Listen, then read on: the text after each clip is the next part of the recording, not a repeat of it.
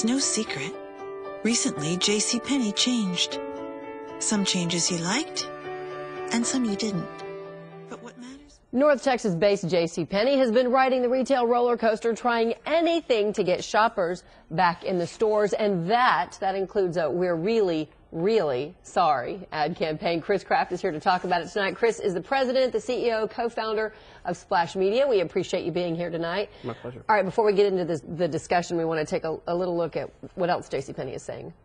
But what matters with mistakes is what we learn. We learned a very simple thing to listen to you, to hear what you need to make your life more beautiful. Come back to JCPenney. They want people in the stores. Is the I'm sorry working? Yes.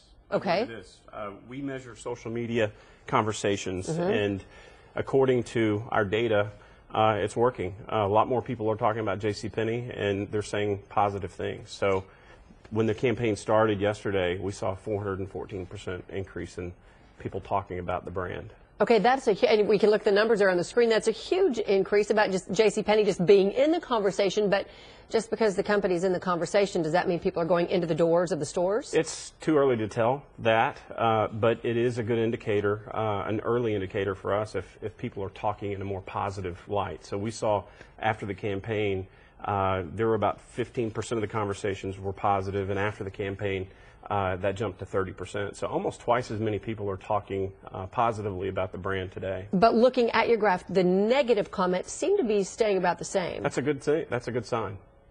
as opposed to negative going up. It's okay Correct. if it just kind of stays so, where it so is. sometimes when volume of conversations go up, the negative rises at the same rate Right. as the positive, and uh, the message is resonating with consumers. People people like the old J.C. Penney back. So I'm wondering if they're getting it because I look at this, the ad that they did, and a lot of the, the comments that I was reading on social media, people are like, who are they marketing to? The 20 somethings Mm-hmm. or the people who are closer to 50? And that's me, you know, shopping as a kid at Mm-hmm. J.C. Penney's.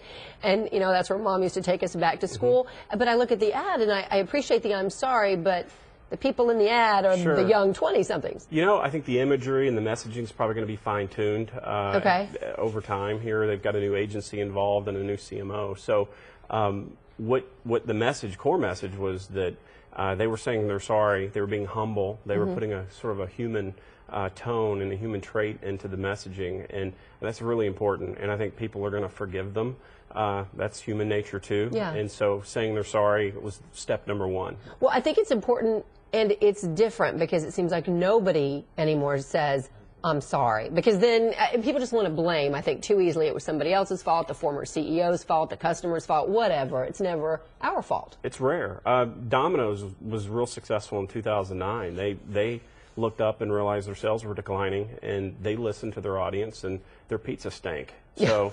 Uh, So they're- changed it. They made it did. better. And the CEO got on TV and said our pizza was bad. Yeah. And made a big commitment to, to We're doing a better better. job. And now it's a huge success story. So they turned it around, and I think JCPenney's on their way. Well, yeah, the first thing to do, I guess, is say, I'm sorry, but there's got to be a plan. I don't know if that's bringing coupons back or, or what it is, but there's got to be now the plan. They've got to deliver. Well, you know, it's interesting. So one of the conversations that helped move that uh, positive sentiment up is they are they are bringing coupons back. They're listening, and so not only are they listening, but they're acting. And coupons is a huge, huge spike in that positive uh, sentiment for them. So. It definitely gets people in the door. I, I got one today on my email. Get 15% off. Well, like, and okay. whether the CEO likes it, uh, couponing may be part of the JCPenney brand, and so uh, I think it was smart for them to listen. Well, you know what's funny is, and I didn't know that we were doing this interview tonight, but this is a J.C. Penney skirt, and I have not been in a store in mm-hmm. ages for whatever reason, but I had to go to another store in the mall, so I had to walk through the J.C. Penney, and I started looking around. I thought, okay, and it was a great price. The people were nice. I'm like, I'll get it, and that is actually going to get me,